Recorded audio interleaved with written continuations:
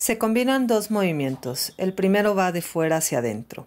Apenas tecleamos nuestro nombre de usuario y contraseña, una multitud en gran medida constituida por perfectos desconocidos irrumpe en nuestra sala o nuestro dormitorio. Una multitud parlanchina, pregonera, murmurante, una multitud burlona, pensativa, rebelde, bulliciosa, eufórica, dubitativa, furiosa, risueña.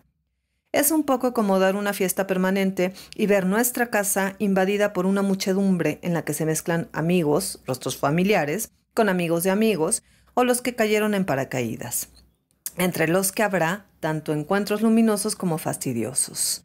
Es simpático, pero a la larga es cansador.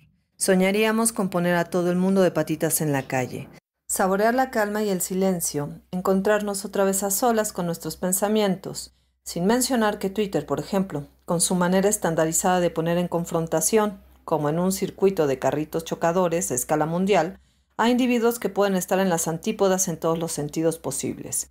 Nos expone a la polémica, a los choques violentos, a los insultos, a los arrebatos de odio, a todo tipo de agresiones, de las que supuestamente deberíamos estar a salvo entre nuestras cuatro paredes. Cuando se producen esos incidentes, vampirizan nuestros recursos mentales, anulan los beneficios de la soledad. En paralelo con esta invasión, hay un segundo movimiento, desde dentro hacia afuera, como si una especie de agujero negro de irresistible poder de atracción devorase nuestras existencias. A veces me parece que los elementos del decorado que me rodean vuelan hacia la pantalla para ser tragados por la computadora y yo misma tengo que agarrarme a los muebles para no seguir el mismo camino.